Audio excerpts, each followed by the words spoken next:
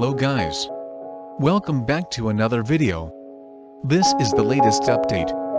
Thermaltake Toughpower 750W.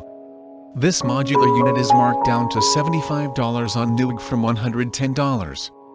There's also a $25 mail-in rebate available, bringing the price down to just $50. That's a sweet price for 750W.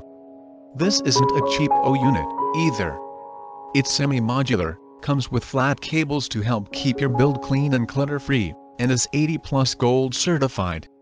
Here are the connectors it comes with. 1 X24 pin main power 1 X4 plus 4 pin ATX12 V4 X6 plus 2 PCIe 12 X SATA 4 X Molex peripheral 1 X floppy This PSU utilizes a single plus 12 V rail design with 62A available.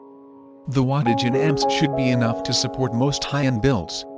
If you're curious how much your system needs, use an online PSU calculator for a rough estimate. Thank you guys for watching this video. Do like and share this video. And don't forget to click the subscribe button for more such future updates. Thank you.